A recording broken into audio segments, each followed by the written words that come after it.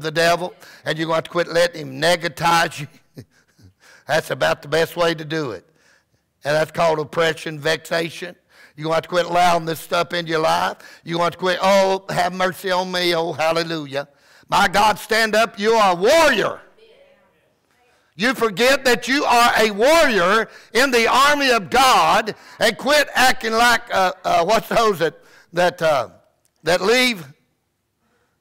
You know, they run away, what they called? Can't think of it right now. Deserter. Quit acting like you're a deserter. I, I, I understand. I'm starting to understand why I'm preaching some of this stuff I've been preaching. Because you need to become a warrior for God. And your weapons are not carnal. They're not natural is what it means. Your weapons are not natural, but they are mighty through God. What are you doing? You're pulling down the strongholds of the devil. You're casting down the imaginations and thoughts of the devil. That's what the Bible says you are to do. The Bible says you are a, a good soldier cannot entangle himself with the fires of this life. Only the strong will survive. I can tell you that now. I'm going to preach to you the 91st Psalm. The 91st Psalm is a wonderful, powerful psalm. I read it over my life, over my family, over my home, over Abundant Grace Tabernacle, because the Bible tells you to. And it's one of the most, it's, a, it's not a, a psalm of praise. Most of the, now these, these are songs that's uh, composed by different artists and uh, different writers, Moses, David, and Asaph, and just various ones. Uh, but they are songs that David used to uh, sing in the tabernacle when he worshiped God. And so I want to just lay you a little bit of foundation about David and how the tabernacle of David come, come about. And everybody knows it's got a, if you know anything about the Bible, the Bible says in Acts chapter 15, uh, James quoted this that uh, uh, from Amos, from the book of Amos that in the last days that God would raise up the tabernacle of David. Now, David did not actually build what you say a tabernacle like the Mosaical tabernacle. The tabernacle of Moses was erected at the, at the, at the direction of God. And what it did, it gave us the law, it showed us the holiness and the righteousness of God. And uh, under King Saul, the, the Ark of the Covenant, which represented the authority, the power, and the presence of God, was taken, and Saul didn't do anything about bringing it back. Well, when David became king, he wanted to bring the Ark of the Covenant back into back to Jerusalem because he wanted a place where he could get face to face with God and worship and praise and glorify God. Now, so when David goes and gets the ark and brings it back, he sets up a tent or a tabernacle for him to put the ark in. Now, listen, see, the, the law commanded there had to be sacrifices of animals and all that, remember? Is that right? So, oh, the, so the, the, the ark of the tabernacle of Moses, it was in Gibeah, Gibeah and the priests were still offering the sacrifices for the people and doing all the Mosaical commands that God had given Moses to command the people to do. They was offering their sacrifices over there, but the ark was over here at Jerusalem with David. Now, what did David do? The Bible says that the priest is the only one that's allowed to go into the holy place. Is that right? And he only went once a year. But David went every day into the holy place. David was a king, he was a prophet, and God allowed him to be a priest. And what David did, he would go in that tabernacle, that, that tent that he raised up, and he would go in there and commune with God. And it was in the presence of God that David began to understand and know God. That's why the Bible said David was a man that was after God's own heart. That's why the Bible, it means that he was, he had the mind of God. He thought like God. Eh, the thinking, the reflection, the emotions, and, and the compassion of God. It was in his going in there and sitting down and communing with God that he, learned that he learned to really trust in God. Not only did he learn to trust in God, but as, as the Bible says, he learned the heart of God. So what David did, he instituted worship. He started having worship 24 7. He started having worship, songs, instruments, and through the tabernacle of David, we learned that everybody has access to God through the death, burial, and the resurrection of Jesus Christ. Because the Bible says the veil that was rent, many knows what that means?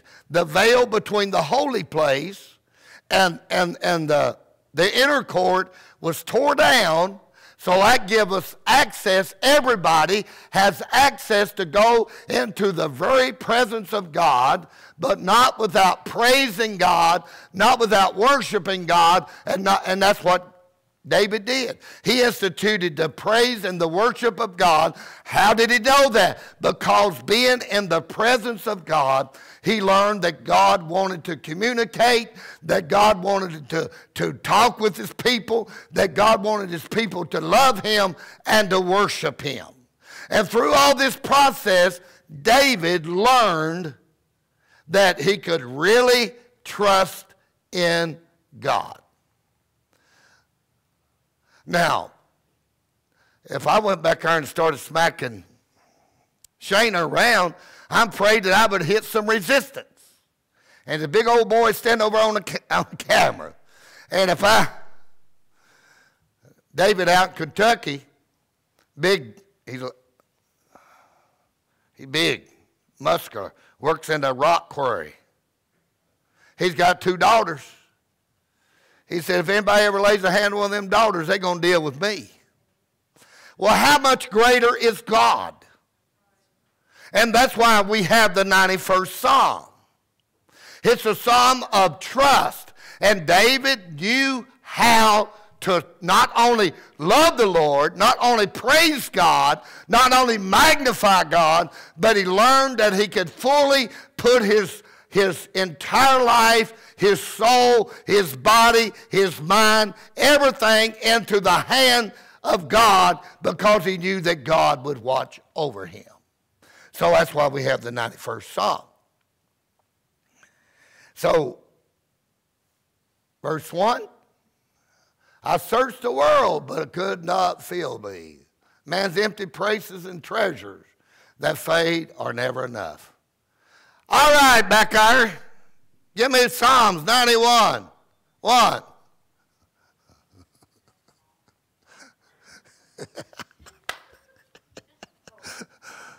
Michael thought Sonia was hollering at him. He looked around, looked over at Sonia.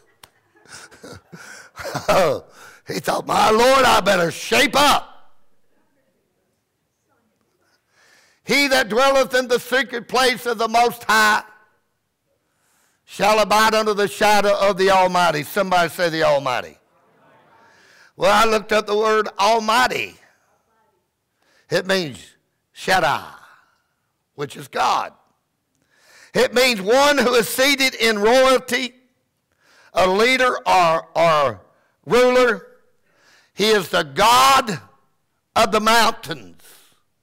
Now, where did Israel, when God brought them out of bondage, where did they have to go to meet God?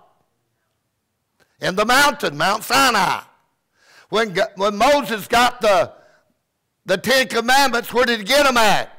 In the mountains. He's a God of the mountain. He's a God that is high, exalted, and lifted up.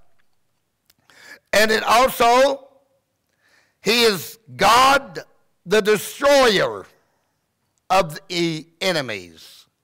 He is God. Shaddai means he is a God of a destroyer of your enemies. Can y'all handle that? Is that all right that God is so high and so exalted and so lifted up that he, he is God, which is a destroyer of your enemies? All you got to do is put him on him in faith. All you got to do is put him on him because he is a God, the destroyer of enemies. He is a God that is the self sufficient one. The Bible says, I, I sit alone. There's no God beside me. There's none in front of me. There's none behind me. There's none that shall be created. I am God alone. I, the Bible says, God said, I sit upon the spear of my creation. Everybody knows what the spear is of the creation. Just look at your globe. That little spear goes up through there and holds the globe, and the globe. Well, that's where God sits right there. He looks down over the whole earth. The Bible says his eyes roam to and fro over the whole earth. Why? God's looking out for you. He's looking for your enemies. And when they're by the Bible, and when their cup of iniquity waxes full, then God is going to do something. I'm in the Bible, y'all. That's all I know. I don't know nothing else. He's a, he's a God that is self sufficient. He is a God that nurtures babies.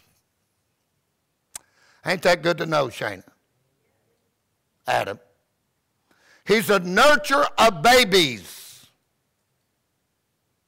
It also means God the Almighty One. Verse 2 I will say of the Lord, He is my refuge, my fortress, my God. In Him will I trust. What does that mean to you? Is He your hope? Is He your stronghold that shelters you? Are you sheltered in the arms of God? As the song says, I'm sheltered in the arms of God. Are you tied into God? Are you in God? Are you just half in and half out? You just serve God part, part of the time and the rest of the time live like the devil? You can't expect God to do that. I'm talking to people that sold out to God. I'm talking to people like David was sold out to God. He is my hope. He's my stronghold that shelters me or protects me. He's the only God for me. I don't need another God, do you?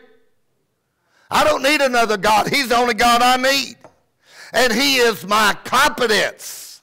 I'm competent today of one thing. I am heaven bound. I am a born again believer. And I know the Bible said that which I've committed unto God, He will keep unto that day. I know that I'm sealed unto the day of redemption. I know that my God is looking after me. I know, hallelujah to God, no weapon formed against me going to prosper. I know all of these things. Why do you know all this stuff? Confidence. Confidence in my time that I spend with God things that God says to me, how God blesses me, and the Word of God, the lamp and the light under my path. Hallelujah. I know this stuff. I'm not fretting. I'm not worried. I'm not discouraged. I'm not disappointed. I'm not ready to give up. What am I going to give up for? Huh? Why would I want to give up?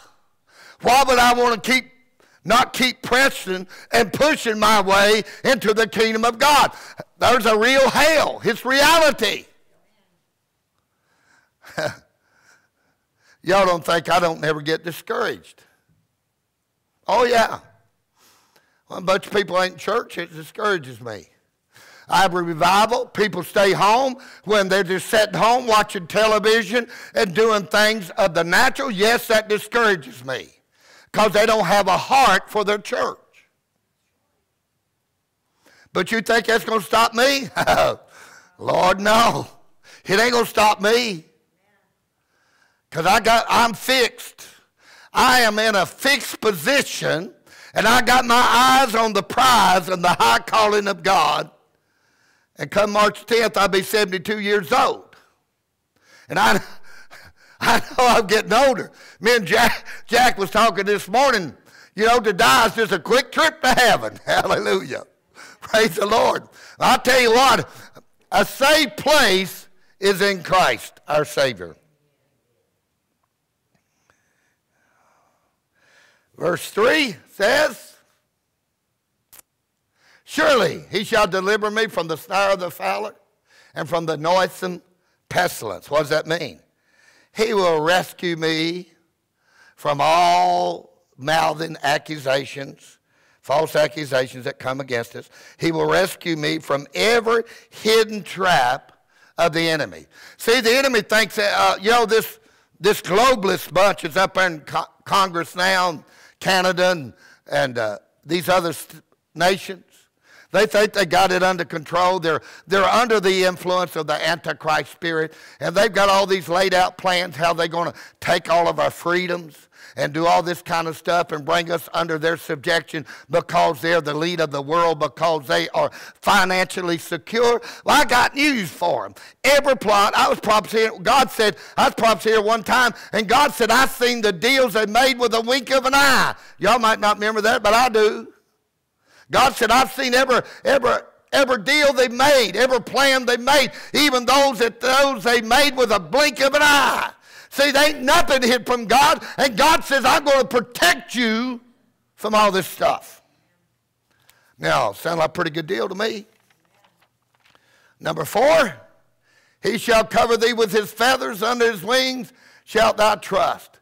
His truth shall be thy shield and thy buckler. Does that mean God? has wings, not necessarily. It doesn't mean God's got wings to hide you under. But simply God be what he wants to be. But the wings, if we go into the scriptures, we find out that the wings, what's over the mercy seat? Huh? Cherubims. And God said, spread their wings out. And what is and where does, give me uh, Exodus 25, 18 through 22. How you abide under the shadow of the Almighty and is under, the, under his wings. And here's what it says in Exodus. He said, And thou shalt make two cherubims of gold, of beaten work that shall make them in two ends of the mercy seat. Remember when Jesus died, he ascended into heaven and sprinkled his blood on the mercy seat? A lot of people get grace and mercy mixed up. If, uh, if you're in a getting ready to be run over by a tractor and trailer and, and God moves you out of the way, that's mercy, it's not grace. Grace is when you're spared from something. Grace is when you, uh, mercy is when you're spared from something. And grace is when God influenced you in the right realm.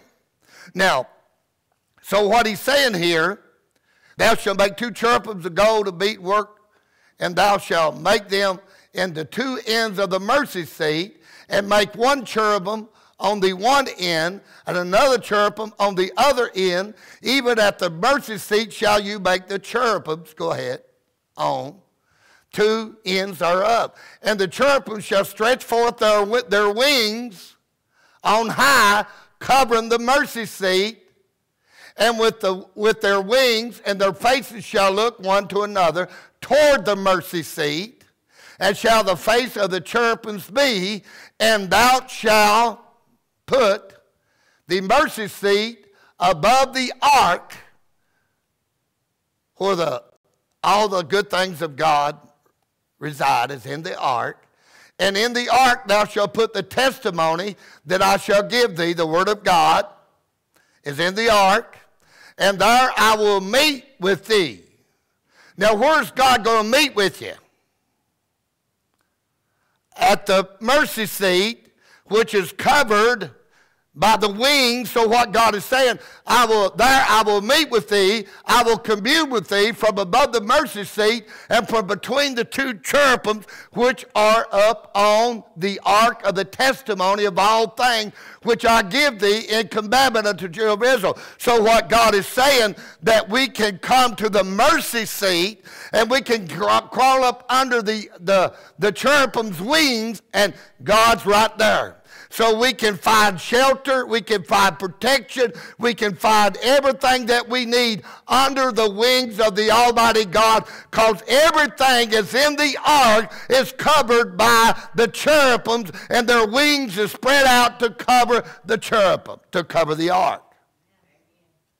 So God is simply telling us that, that that's a good place to be. We can just get right under that mercy seat of God. And Heavy knows that mercy is what we need.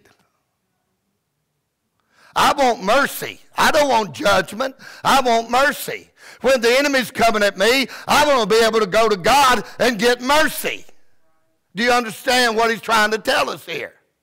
We can get mercy. We can get under the ark of the covenant where all the promises of God are what? Yea and amen. And we can get under the mercy seat of God where nothing can touch us, nothing can come. But see, a lot of people, they just, oh, hallelujah. Instead of going and getting in the presence of God, I told y'all this, I'm going to tell it again. We lost Daryl out of the church, and that broke my heart.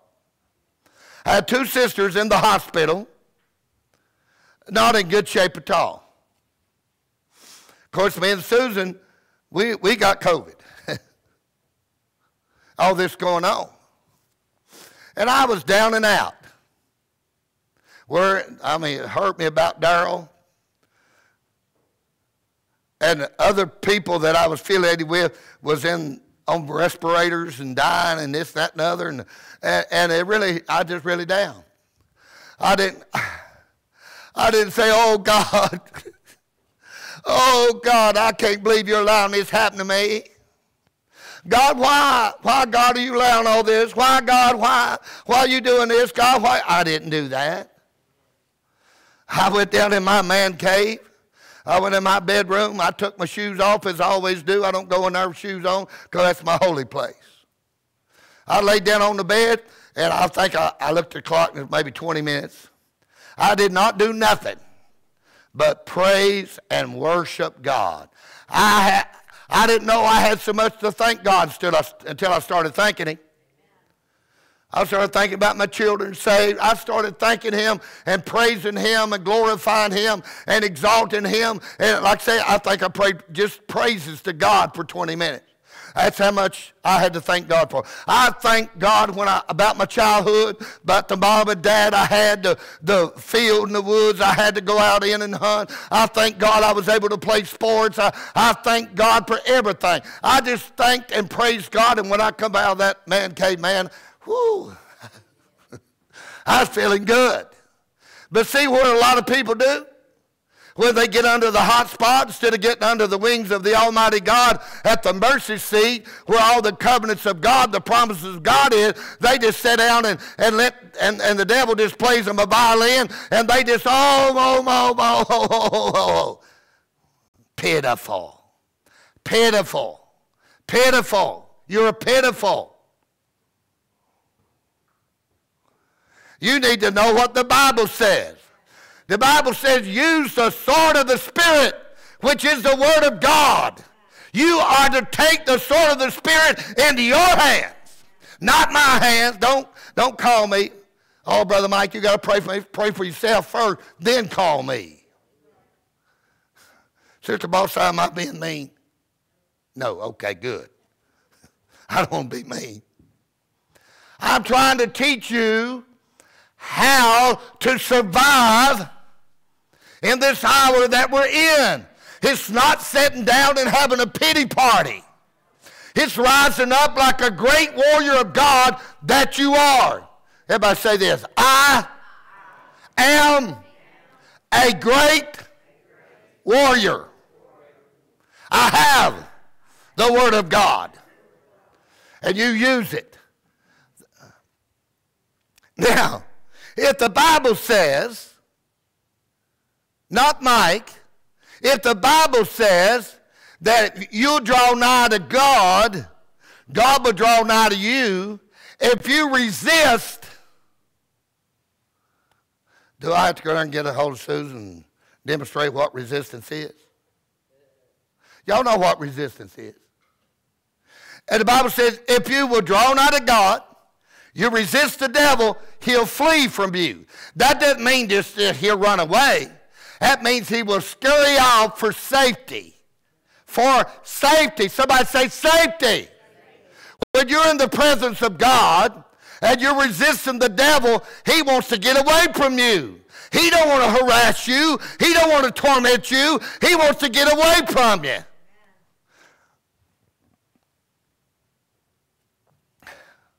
Come on. Come on. Think about it. Has he ever wanted to get away from you? Huh? Have you, made, have you put him on the run?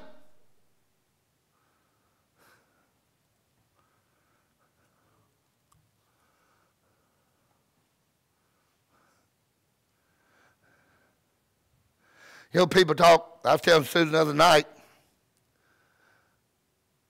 I said, you know, it's hard to believe that I was raised until I was 12 years old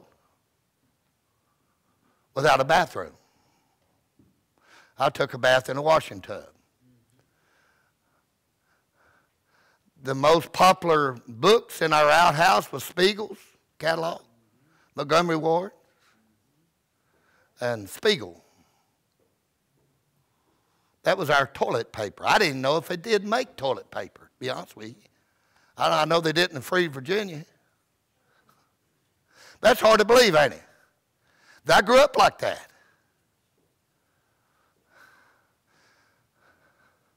But man, Montgomery Ward was popular, Spiegel. If you was out, you didn't look for you look for catalogs when you find one. You ain't gonna use that. Let me have it. Oh, newspaper was a dignity. hey, believe it or not, I, when I was praising God, I even praised Him for them times.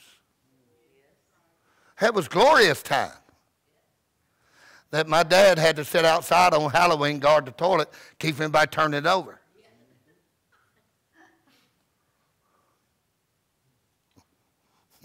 You know what I'm talking about, don't you, John? I, I'm just almost 72, y'all. Now y'all know why I'm so country, okay? Susan was on the phone talking with somebody. I heard no. I said, that's got to be Angeline. That's my sister. She said it is. no. That's our language. Can't help it. Susan said, You could do better if you tried. Well, I don't think y'all want me to try, do you? Y'all understand me? Y'all know what no is. Praise God.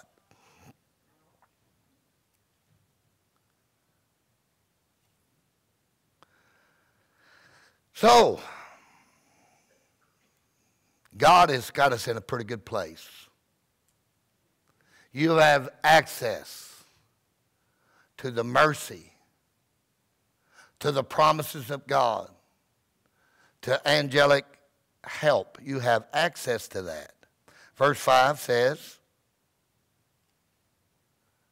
verse 5, Psalms 91, Michael, you're getting ahead of the game there, buddy.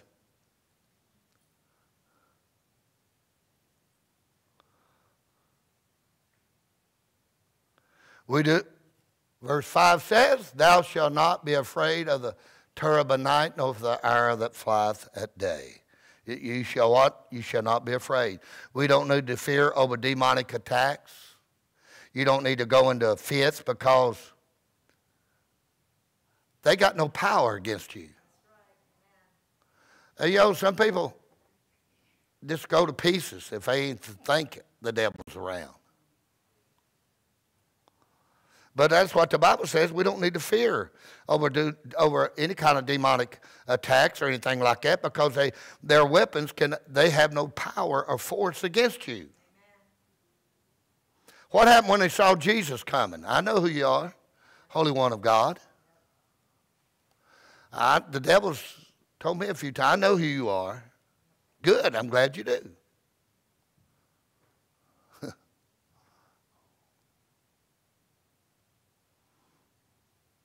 I, I can't remember where I was. Another state. I was casting devils out. And he'd talk to me. He'd say, I know who you are. I think he told Amy one time, said, I know who your daddy is. It's good to know that the devil knows who you are. You know what the devil knows about some of you? Hey, let's go have some fun. Let's go torment these people. They don't never put up no resistance. They just have a pity party. I'll play the violin. You torment them.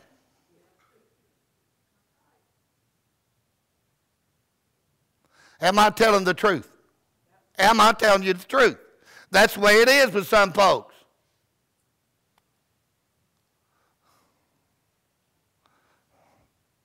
I was in Alabama one time preaching, and I'd been uh, come out of the service and everything, and I went to bed that night.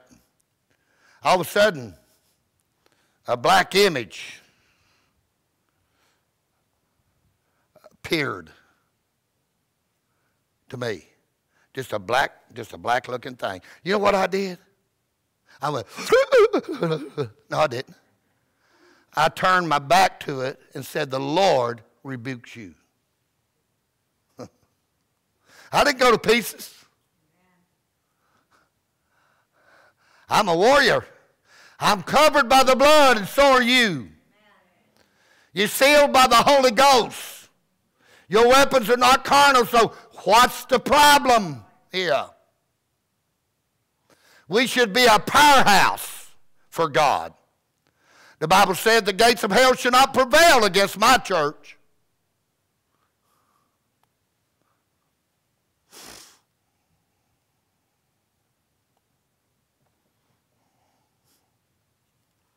Verse 6 Nor for the pleasance that walketh in darkness, nor for the destruction that wasteth at noonday. It doesn't matter if natural forces or, or spirit forces. They can't overtake you. That's what that simply means. If it's natural or it's in the spirit realm, they cannot overtake you. God will make a way of escape. God says He'll turn everything into bad that's good for you. He'll make it good. We might go through, we go through problems, we go through trials, we go through stuff. Everybody does. But what we do, we, it, we do not allow it to make us a victim. We know that God says, all things work to the good of them who love the Lord, who are the called according to his purpose. Some people lose a mom or dad or something, they just go into chaos. Well, I've lost a mother, a dad, two brothers, and a daughter that a girl I practically raised. And I guarantee you didn't love yours more than I love mine.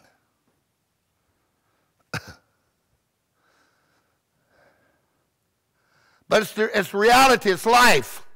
Well, you believe it or not, this man right here is going to die one day unless the rapture comes. Will you miss me, Nate? Okay. I'm glad Nada missed me. but it's reality. It's just, it's part of life. But we take it and make something else out of it and want to question why. Well, you know, somebody dies, like my nephew just died, 47 years old. A freak accident. A freak accident. A vehicle comes off a tow truck, crosses the medium, hits Corey, kills him. A freak accident. Why am I going to say, God, why did you allow that to happen? It was a freak accident. I just thank God, he's right with God. he loved God. That's the great part about it. He just got, as Jack says, a quick trip to heaven. You know, I, I ain't no hurry to get there. I like doing what I'm doing this morning. I like trying to encourage y'all. I like trying to build y'all up in your, in your faith and let you realize, hey, you're not a stepping stone. You're not a doormat for the devil. You're a child of God. You're robed in what, robes of righteousness. White robes of righteousness at that. You don't need to let the devil dirty them things up. Rise up. My God, rise up. You got the Holy Ghost.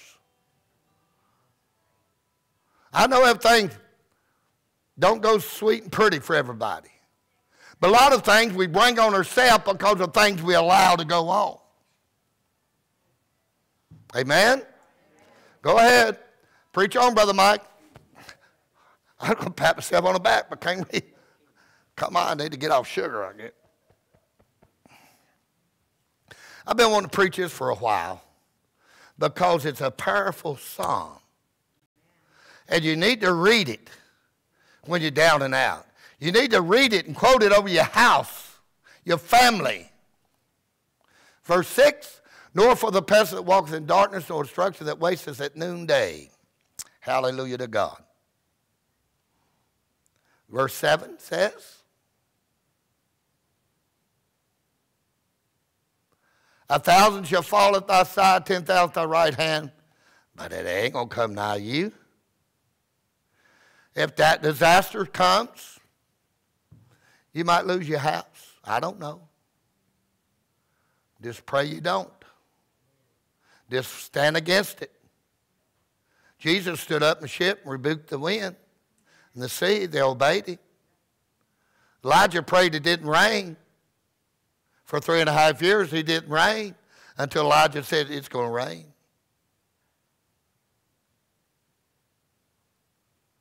Peter walked on the water. Yeah, but he had Jesus. You got Jesus on the inside you. The, Jesus said, if you say to the sycamore tree, be thou moved in the sea, and believe it in thy heart, and doubt it not, it shall move into the sea. See, we look at this stuff, that's heavy stuff, but God ain't wasting breath. God ain't wasting foolishness on scriptures. He means exactly what he says. I listen to a lot of William Branham stuff, and and God, he questioned God about some of these things, and he was squirrel hunting one day. Wasn't killing any, loved squirrel hunt. God said, pick you out a place and believe there'll be a, a squirrel there, and there will be. He did. He looked, a squirrel appeared. And he picked a place where you wouldn't find a squirrel. Now, that sounds foolish to the natural mind, but it doesn't to the spiritual mind. He'd be praying, seeking God. He loved to hunt. And the Lord said, Well, you want to kill today? He said, I want to kill a 10 point buck. He said, Well, you're going to kill it today, and here's where you're going to kill it, and here's what you're going to be doing. And he'd tell the people around him, God told me I was going to kill a buck today and told me where I'd be at, and and, have, and all this stuff. And he'd tell them it happened just like he told them. The man, man was powerful in faith in God, but God come to him when he was just a little bitty child before he really understood anything, and he kept himself out of the world. He kept himself out of the world. He didn't spend his life in turn, entertain himself with the world. He entertained himself with God.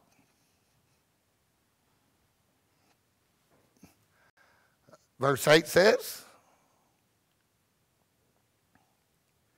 Only with thy eyes shall, shall thou behold and see the reward of the wicked. As a spectator, you will see the judgment of the wicked. Do you believe that? As a spectator. Give me Isaiah.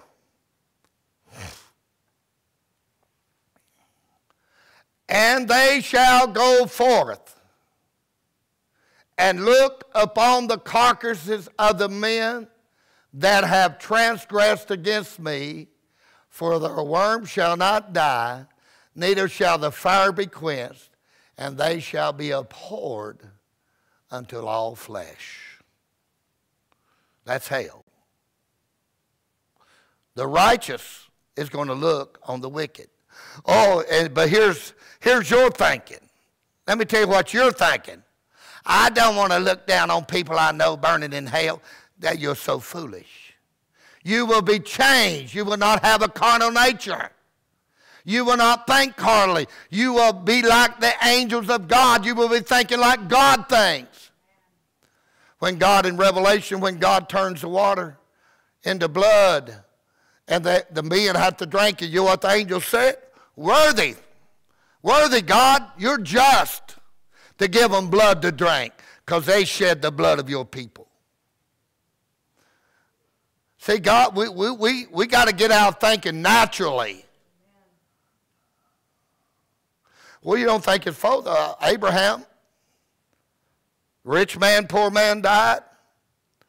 Poor man over in Abraham's bosom looks over the, over between the great gulf fix, looks over to hell, see, see the, the man that he set at his gate in torment.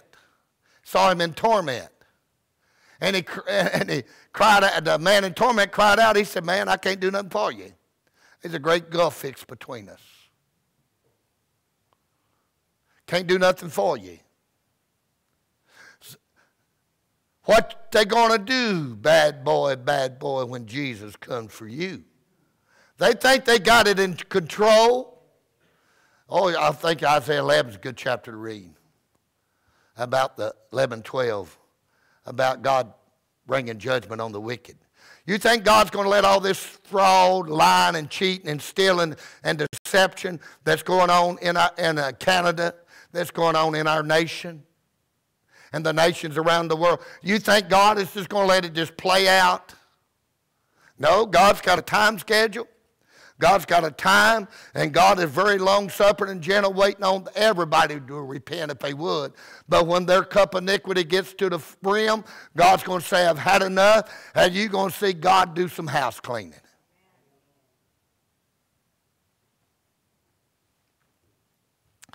Give me Psalms 91, 9 and 10.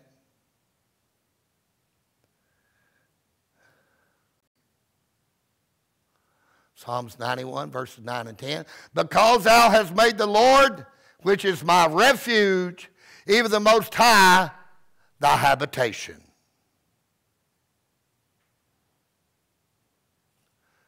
Verse 10 says, Thou shalt no evil befall thee, neither shall any plague come near thy dwelling. Why is that?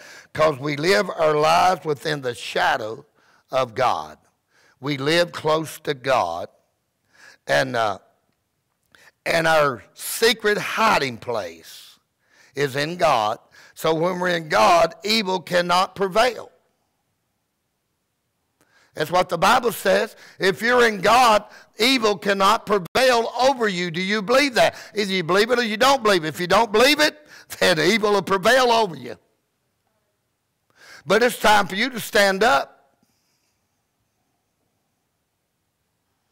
It's time for me to stand up. It's time for every child of God to begin to stand up and stand their ground and put the devil in his place. That's hell, outer darkness. If you're gonna, if you're gonna bind him, cast him out, send him back to outer darkness. Don't fool with nothing else.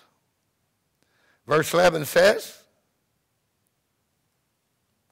For he shall give his angels charge over thee to keep thee in all thy ways.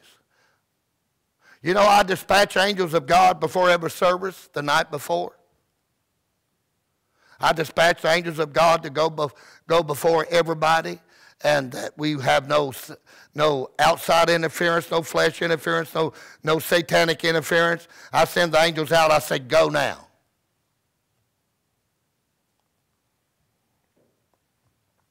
We have angels with special orders from God to defend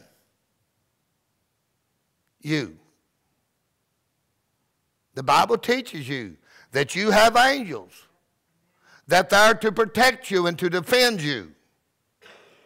You remember when Elijah and, and his running mate was encamped about by a bunch of Syrians?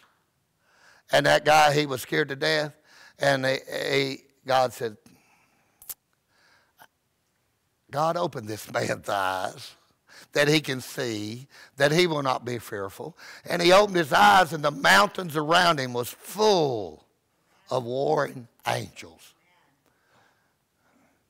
You know, 185,000 Syrian armies. 185,000 had Jerusalem besieged. I mean, here didn't look good, y'all. Here didn't look a bit pretty for Israel. You know what God did? 185,000 Syrians. God sent one angel. One. And he killed in one night 185,000 Syrian army men.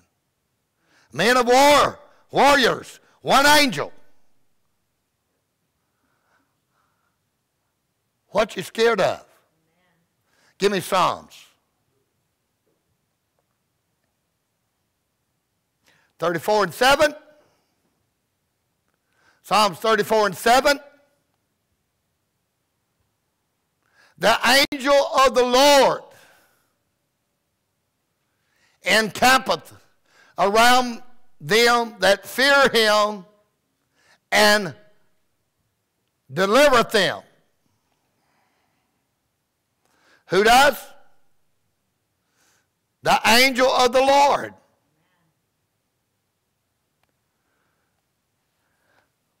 God needs to open all of our eyes.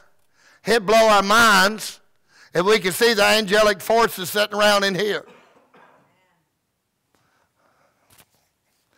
I think it was this week, I believe. I had my back to the wall, and I felt somebody push me on the back. And my first thought was, what does Susan want? Then I realized no lights was turned on, and she wouldn't come. She'd only she wouldn't walk five feet at night without turning the light on, because she didn't want to fall over her shoes that she lives leaves here and there. I didn't. I knew what it was. Cause why you know? Cause I'm talking to God about this. Uh, let me know my angels here. And I felt a hand on my push me like that. I've seen impression on the bed where they've sat down.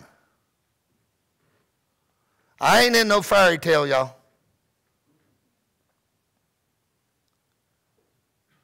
I think I got one more scripture. Give it to me. Uh, Galatians, maybe? Who gave himself for our sins? Who? Jesus that he might deliver us. That who's going to deliver us? Jesus. From this present evil world according to the will of God. It is the will of God to deliver us from this present and evil world. That's what it's all about, church. That's why we come to God. We're his children. Don't mess with mine. I don't care if they are in their 40s.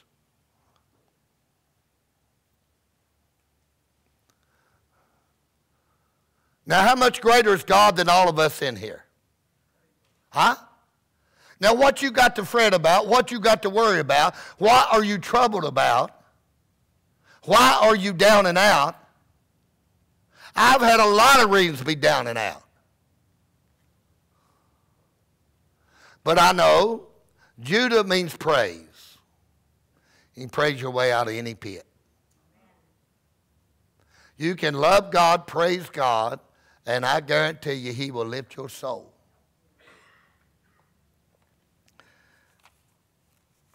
What we're talking about is a safe place. You're in the safest place. You a person that is a Christian is in the safest place in this entire universe. You've got angels around you. You've got God looking out for you. You've got everything you need. You have the Word of God as a sword to def- defend yourself. You got the shield of faith, the helmet of salvation, the breastplate of righteousness. You've got it all, church. We've got it all.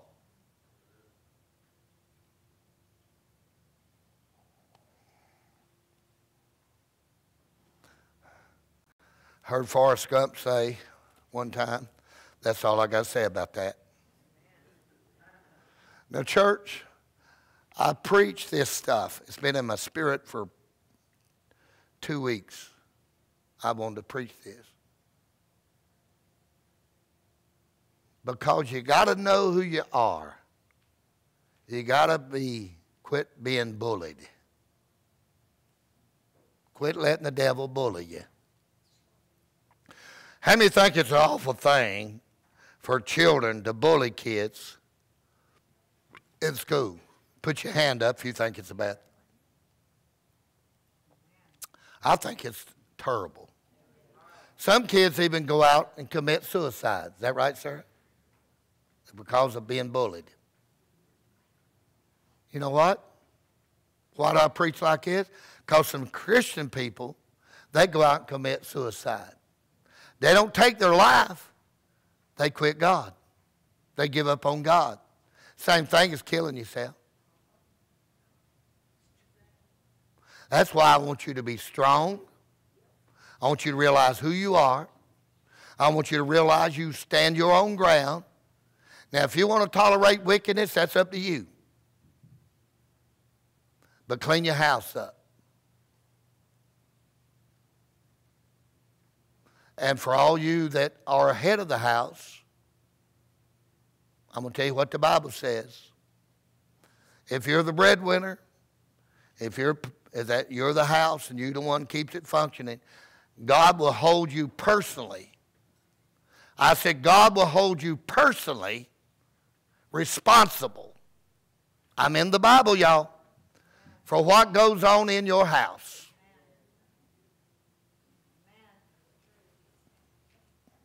Why would God do such a thing? Because he don't want you to have no problems. He wants you to live a quiet, and peaceful life. Word of God's sharp, ain't it? Oh man, it'll cut you. It'll hurt you. I, I, my intentions today was to strengthen you, to encourage you, to build you up in the Lord. And I hope I've done a good job at it. Okay? All right, let's all stand. Yeah. The children have prepared a couple of things. Whenever you would let them do. When do they want to do it? Now, they want to do it in front of everybody. Well, bring them up here. Trot them right up here. Hallelujah. Suffer little children to come unto me, for such is the kingdom of God. The Bible says, except you become like one of these right here, you can't enter the kingdom of God. That's what the Bible says. I didn't say that. Okay, this was there, all there, stay, uh, yeah.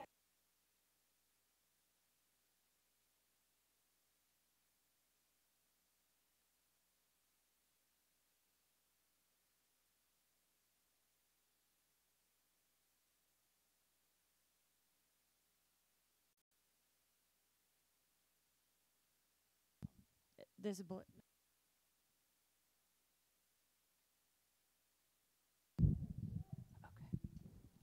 Susan, please come up here. Slide over where see y'all. Go over the end, on the end with your Levi. We have something to give you, Susan. We made cards for you in Sunday school, and we want to give them to you. And look, they all wrote their names. That's Piper. Go ahead, pass it down. Here, pass it down. Piper, did you write this? Oh, my goodness. Oh, boy. Oh, boy. Here you go. Here, Piper. Happy birthday with stickers. okay, give that microphone. Kaylee will hold this one.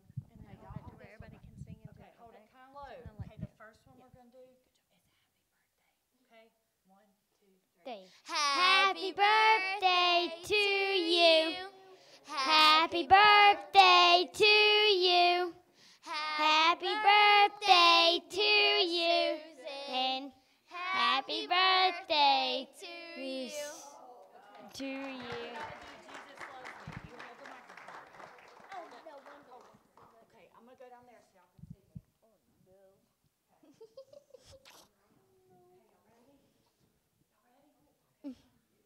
three. Jesus, Jesus me, me.